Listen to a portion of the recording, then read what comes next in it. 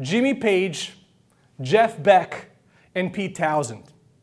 All of them were born around the same time, 1944, 1945. All of them live within close proximity to one another. If they wanted to do a jam session, they would have to drive for about 20 minutes somewhere in this area, right here. Where is it? Yeah, right here. Um, and they would do a jam session. So that's fascinating to me. How many of you play guitar? One? Just one? Well, two. All right? Um, this is fascinating to me, guys. There's been amazing, innovative, not just great guitar players, but innovative, great guitar players before this crop of guitar gods. Charlie Christian, uh, Django Reinhardt, even Ike Turner has innovated of Tina, Ike and Tina fame, right? Has innovated guitar as an instrument in, in great ways. Uh, you familiar with these guys? Django Reinhardt, yeah. Uh, so, I mean, there's been amazingly great and innovative guitar players before them, right? And there's been amazingly innovative guitar players afterwards, right? Stanley Jordan, the guy that plays guitar like this. Amazing. Tom Morello, Rage Against the Machine. That guy doesn't get enough credit for innovating the instrument. Who else can you think of that's been really innovative? Right?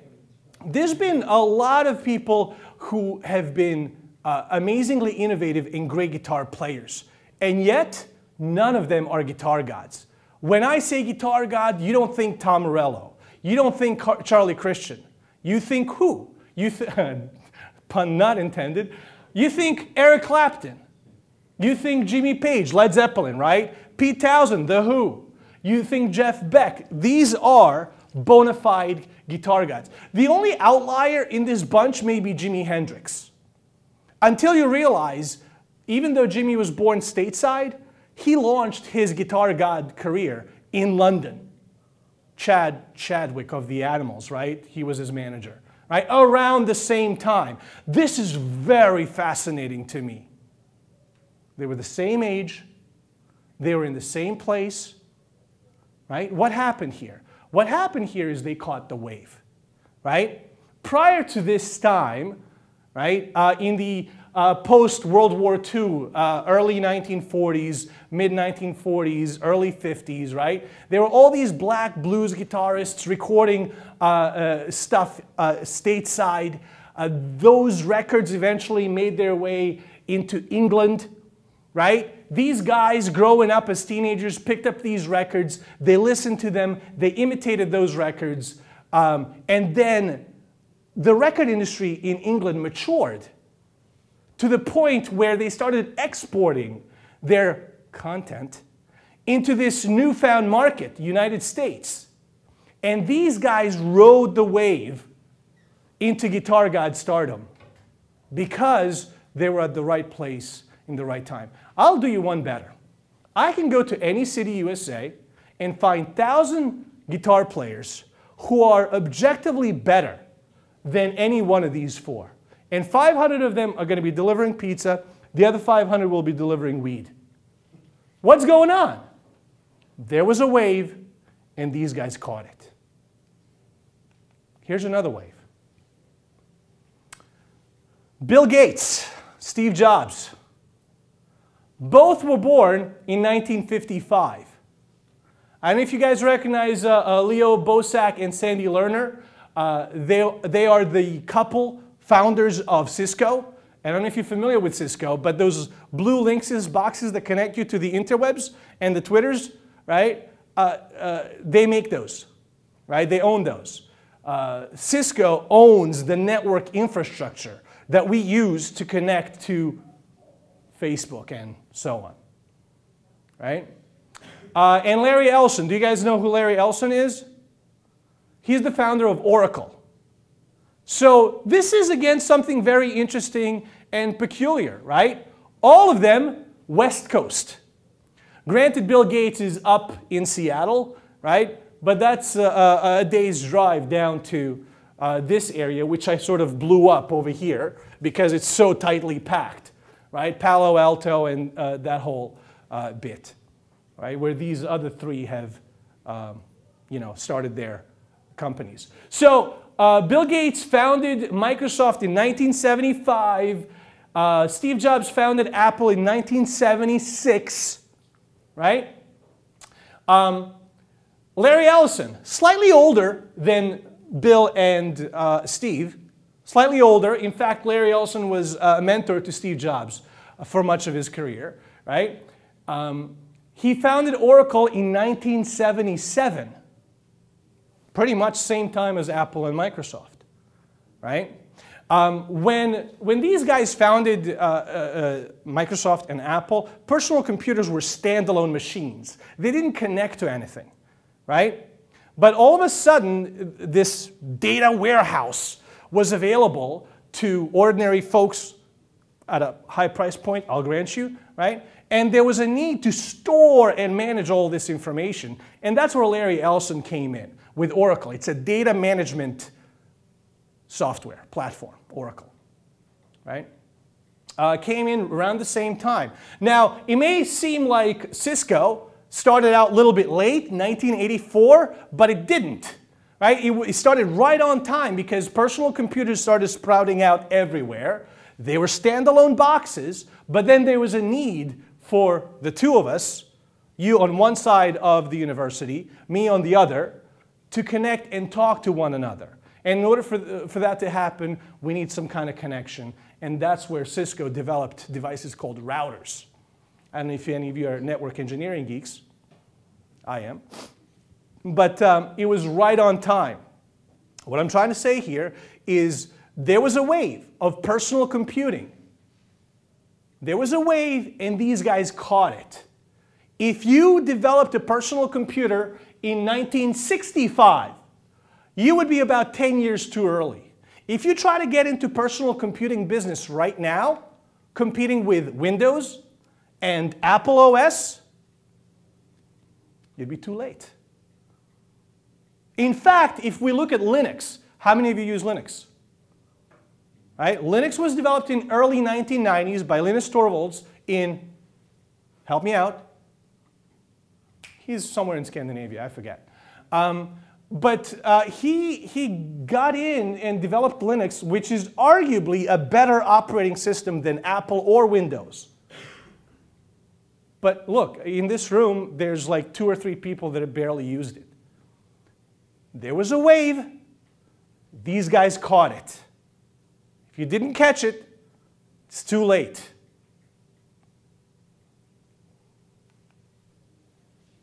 Okay. So that was the first part about perfect waves. Next up, I want to talk about perfect circles. If you're lucky in your life, you will read a few, maybe three or four or five books that will change everything uh, for you. They will change the way you see everything. If you're lucky, you're going to read a few of those books, right? One such book for me is this book. It's called The Dictator's Handbook. It's, by, uh, it's written by a dude named Bruce Bueno de Mesquita. I'm probably butchering his name right? But he's a professor at NYU. Uh, he's um, some kind of factor at Stanford. Uh, he's been studying uh, social sciences and political sciences for over 20 years. He, uh, you know, he's in charge of various think tanks and whatever. He comes with credentials, is what I'm trying to say, right? Wrote this book. I highly recommend you check it out. Um, it, change, it will change everything for you. So this book does something very extraordinary and very original. It looks at political systems, not political systems in a obvious narrow sense, right? But political systems in a very general, broad sense. In a kind of political system where we're all doing politics all the time, right? There's politics in this school happening right now. There are politics at your company happening right now. You see what I'm saying? There's politics at any level of government, even within families. There's certain kind of politics that are happening, right? So when people talk about politics, it's very easy to discuss politics in terms of what is the political structure. Is it a democracy, autocracy, um, a monarchy, a dictatorship, so on and so forth. Right? It's very obvious to break it up. That's not what the author did. What the author did is he broke it up into circles. Three circles to be specific. There is the inner circle, right? This is the seat of the power. There's the inner circle. There is the circle around it, which is the circle of the essentials. The essentials are the ones that keep the inner circle in power. And then beyond the essentials circle, there's the circle of non essentials. Depending on the size of each of these circles, it very reliably, without fail, across types of governments, democracy, monarchy, whatever, uh, and across time, it predicts what the environment, what the living conditions are going to be for non essentials. So let me give you an example Saudi Arabia, right? Very resource rich, uh, very tight, small inner circle, right? Um, royal family, essentially, right? The essentials are essentially those who keep the inner circle in power the police, the, the army, right? The government bureaucrats uh, and enforcers of whatever sort, right?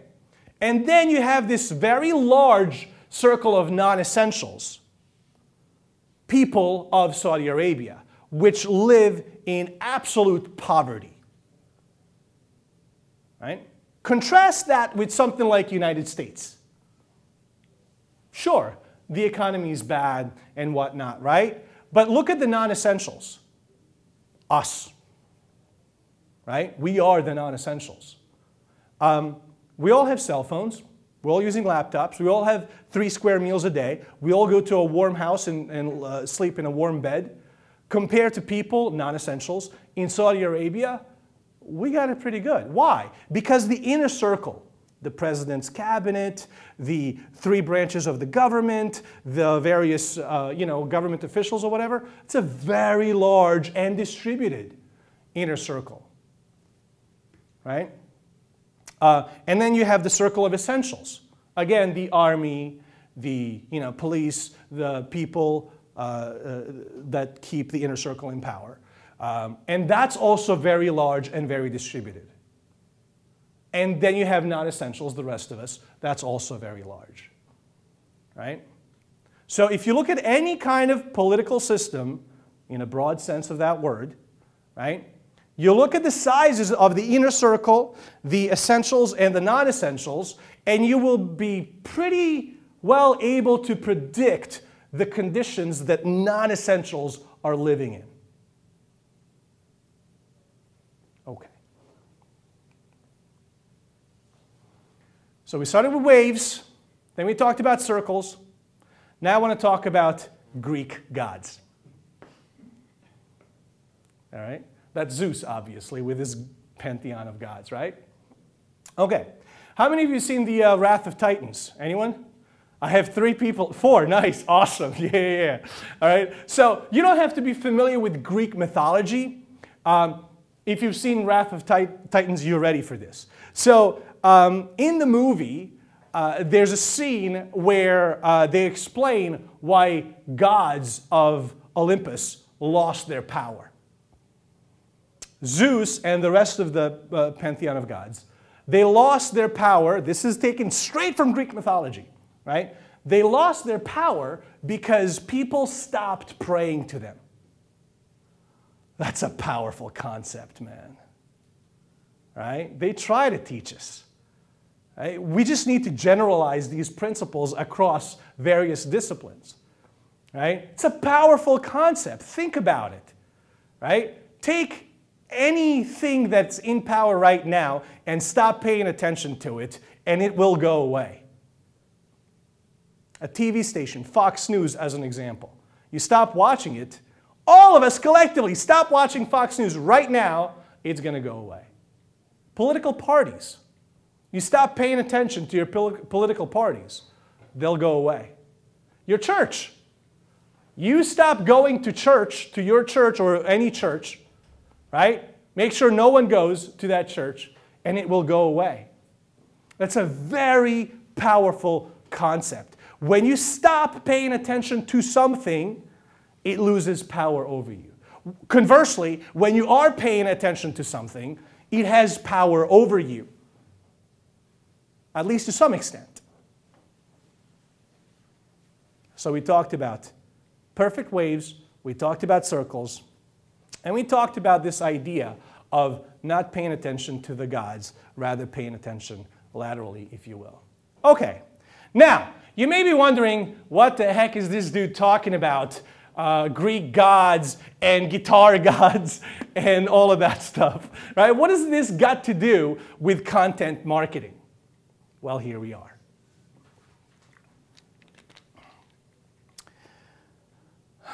You're late. You're late. You and I are late. Like guitar gods in 1960s, like Steve Jobs and Bill Gates, the personal computer wave, right? Like all of those things, there was a time to get in, and if you didn't get in when the time was right, you're late. You and I are late. Let's take a cross section of top 100 internet properties, right? Here they are. And let's see when they, when they were born. If you look at a, a cross section of top 100 internet properties, you're going to find something peculiar. They were all born around the same time. TechCrunch, 2005. Mashable in Huffington Post, Lifehacker, same thing. Read Write Web, a little bit earlier, right? Jezebel, 2007. Gizmodo, 2002. Twitter, 2006. SlideShare, 2006. Early to mid uh, 2000s there was a wave. If you were there to catch that wave, you caught it. Right?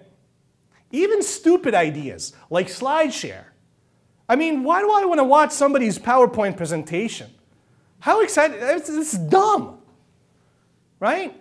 Even SlideShare uh, has managed to, you know, survive and thrive because it started at the right time. I mean, how ridiculous of an idea is that?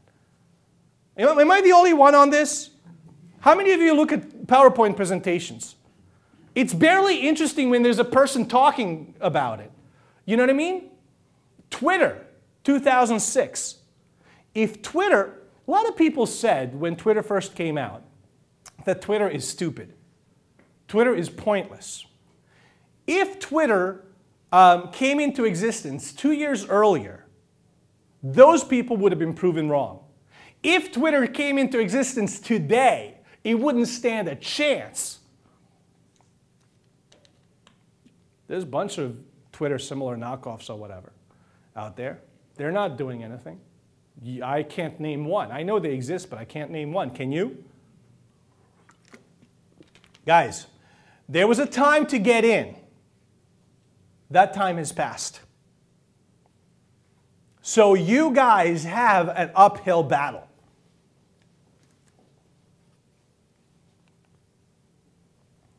This is that inner circle essentials and non-essentials that I talked about earlier, right? The point is, um, there is already an inner circle online, and we are not in it.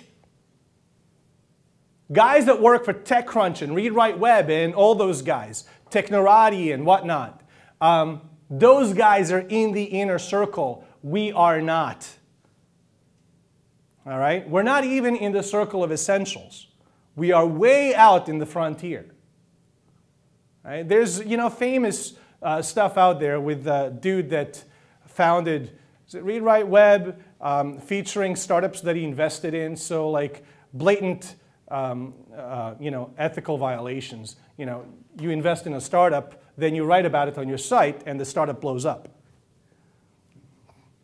Right? Inner Circle can do this. We can't. All right? So, this is what uh, all those circles look like right now. All those big sites are in the inner circle. They, uh, they command disproportionate amount of attention from us. All of you have been to at least some of these sites, right? They command disproportionate amount of attention. Anytime we contribute content to one of these sites, whether it's an actual article or a comment, we squeak into the circle of the essentials because we are supporting their structure. What we're really doing is building um, their empires with our bricks. All right? Anytime you share their stuff, what you're really saying, hey, friends on Facebook, uh, you should go pay attention to the inner circle over here. And guys, make no mistake, we're living in attention economy. Attention is the precursor to money. Okay? You want to make money anywhere in life? You're going to need attention of somebody. Right? These guys command disproportionate amount of attention online, and we are supporting them. Right? We are essentially, I don't know if you guys can tell what this is. We're just switches. We're just on and off. When you go to a site and you like something, what you're doing is you're letting Facebook know that, hey, you should send me advertisements about this stuff in the future. Here, build up my profile so you can advertise to me better. Right? I don't want to get off on a tangent, but I just wanted to do that. Okay. In 1970s, uh, Ed de Bono um, published a book called Lateral Thinking. 1980s, Mihaly Csikszentmihalyi published a book called uh, Creativity. Um, a few years ago, Steven Johnson published a book called Where Good Ideas Come From. Um, I highly recommend all three of those books, by the way. Uh, Steven Johnson's book, Where Good Ideas Come From, uh, is a great and easy read. Uh, Mihaly Csikszentmihalyi's book on creativity is just the source um, for scientific research and all that stuff uh, in terms of creativity. Uh, and Ed de Bono is a little clinical and academic, but uh, still a great read. Uh, so I highly recommend all three of those books. Um, but what I'm trying to uh, illustrate is that for a few decades now, there's been ample research, scientific research, into where creativity comes from, right? What does it take to be creative, right? Um, so one of the most important pillars of creativity is biodiversity, right? And when I say biodiversity, I'm talking about, um, you know, look at us right here. We come from various backgrounds. We come from various cultures. Uh, we come from, uh, we, we're in different age groups. There's a lot of biodiversity in this room alone, right? And that's one of the principles of creativity because each of us can bring a different point of view on whatever it is that we're trying to create, right? Um, that's one of the pillars. The other pillar that's sort of implied is this peer-to-peer relationship. Right? Wherever there was an explosion of creativity, from like ancient Greek times, 500 BC, Athens, Greece, right, to like 17th century Italy, where there was a, you know, a kind of a huge renaissance or whatever, to today's Brooklyn, there's a, uh, there's a huge biodiversity of people working laterally peer to peer, right?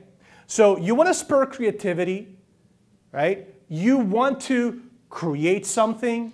This is what you're looking for. You're looking for biodiversity and you, you're looking for creativity. Uh, you're looking for peer to peer relationship. Okay? That's really, you know, the three books summarized. Um, so I could have come here and said, Triberr is a content distribution platform, right? And it would sound like any old, you know, use my tool pitch type of deal, right? Um, so I knew you guys were a little smarter than the average bear. So I figured, let me bring my A game, all right? Um, So I wanted to talk to you about circles, waves, and this lateral relationship. All right? So Triberr is a content distribution platform, right? Um, we're too late to catch the perfect wave. We're late. But imagine if all of us were in a tribe on Triberr. All of us have small, tiny audiences on Twitter, Facebook, LinkedIn, whatever, of our own. And every time I publish something, all of you can automatically, semi-automatically, or manually share it across multiple networks. We call it the reach multiplier, right? Where Mark alone can share it on both Twitter, Facebook, LinkedIn, G+, whatever, right? right? Now imagine if 30 of, uh, of you shared my content like that.